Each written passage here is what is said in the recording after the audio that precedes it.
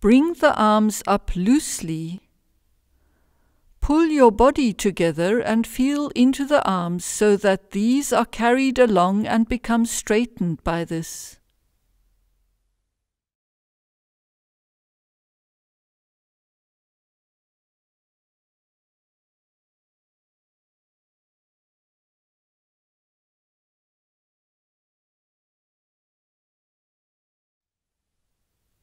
Try to regulate the activity in your body so that the arms are carried practically weightlessly and can remain in the stretched position.